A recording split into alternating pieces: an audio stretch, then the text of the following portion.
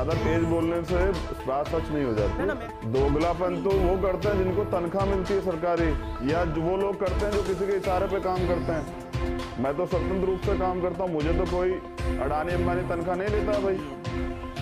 मैं किसी का नौकर नहीं हूँ ना समझना पड़ेगा तुम्हें। और देखो एक पत्रकारिता की गरिमा होती है उसको बना के रखो। मेरे सम्मान के साथ छेड़खानी मत करना। क्या कह रहे हैं आप? समझ रहे हो ना?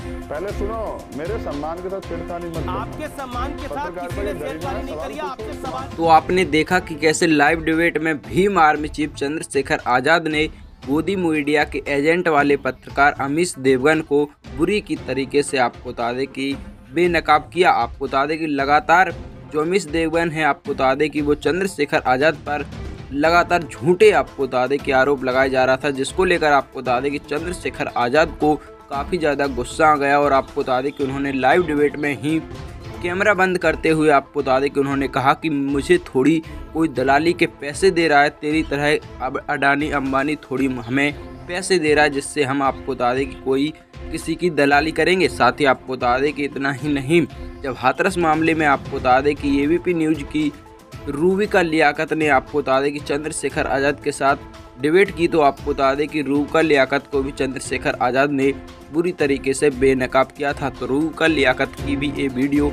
एक बार आप ज़रूर देखें। क्या कह रहा हूँ? एक साल में कितने दिन होते हैं? आप मुझे बताइए ना आप तीन सौ पैंसठ दिन मिलने गए। ना पहले नहीं नहीं आप ऐसा नहीं है ना बोलना सुनना भी चाहिए ना। बताइए ना मैं उत्तर प्रदेश की तरह आपकी आज़ादी को नहीं छीनूँगा कि आपको बोलने की आज़ादी ना हो आप आपको आज़ादी पूरी रहेगी। मैं आपसे पूछ रहा हूँ कि एक साल में दिन कितने होते हैं मैंने आपको सर्टिफिकेट दिया नहीं कि आप 365 मेरी दिनों आज़ादी में कितने लोगों से आदमी मिल साथ सकता आज़ाद है? ज़रूर